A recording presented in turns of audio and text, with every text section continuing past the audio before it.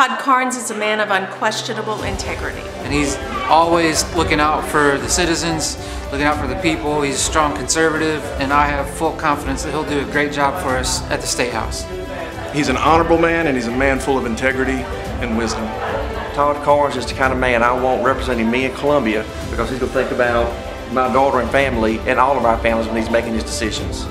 He's extremely honest, very intelligent, uh, just a community leader. He's the right guy for the job. And the most important voice here is that of Carrie Carnes, and she says, Vote Todd Carnes.